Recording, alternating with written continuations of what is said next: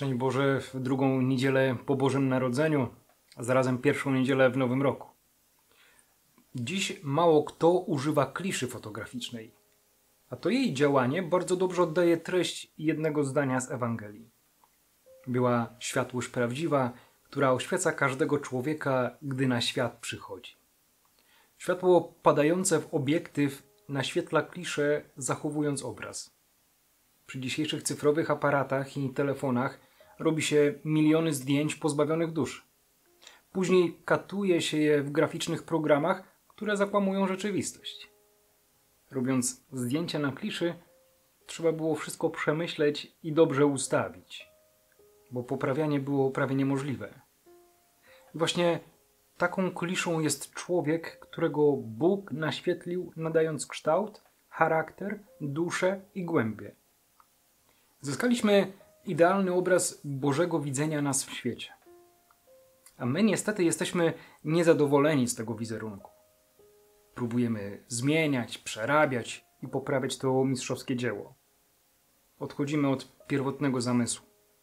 A każda poprawka to strata dla nas.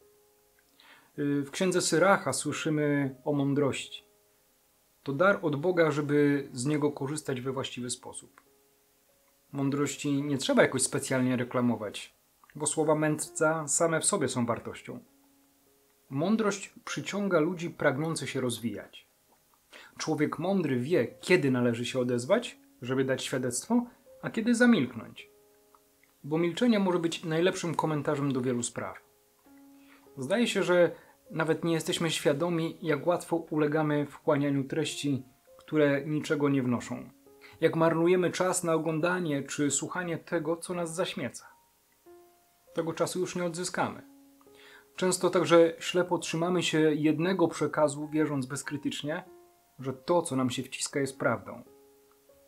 To zaprzeczenie mądrości, która wymaga od nas umiejętnego poszukiwania prawdy w różnych miejscach. Nawet czytając Słowo Boże, nie za pierwszym razem rozumiemy treść.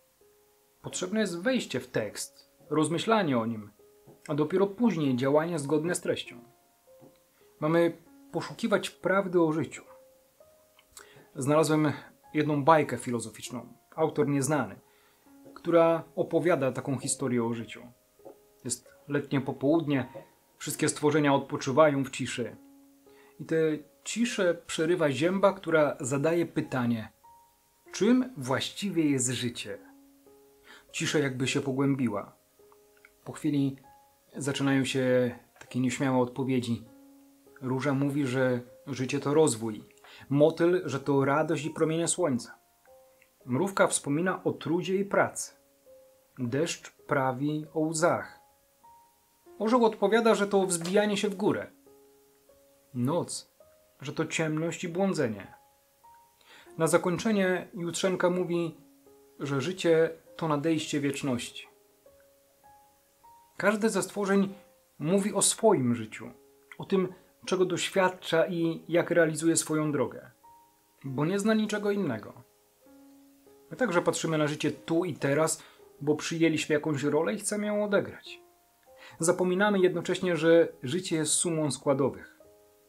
Wiele rzeczy jest przychodzących z zewnątrz, wiele wypracowanych przez nas, wiele jest darem od Boga.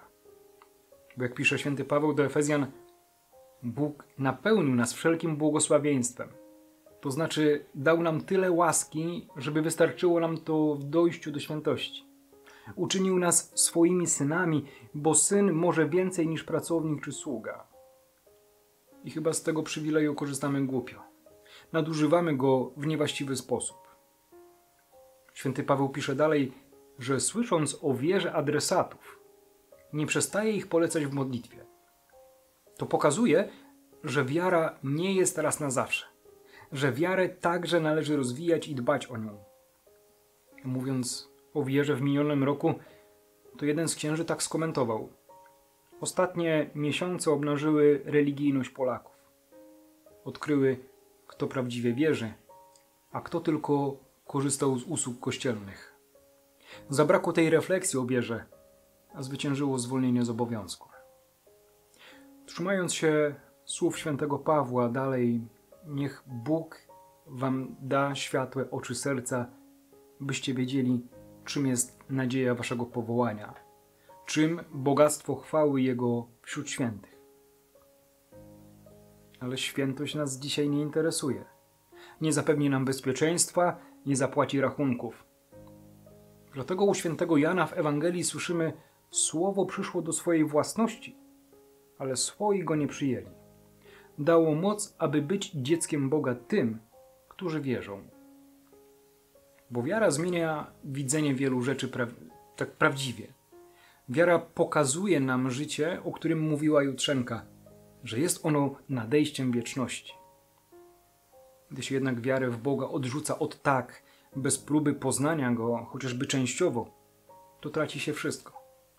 Nie, nie wynika to z przekonania, że Boga nie ma, ale z lenistwa, że nie chce się Go spotkać. Nie znając Mojżesza, proroków, Ewangelii, nie doszło się do prawdziwej relacji. Żyło się obok, choć słowo, jak pisze święty Jan, rozbiło namiot pośród nas. Stało się jak sąsiad, którego ignorujemy. I tak jak mądrość według Syracha należy odkrywać, tak prawdę o życiu z Bogiem także. Bóg naświetlił nas sobą idealnie, a wszelkie próby zmiany są oddalaniem się od tego, co piękne.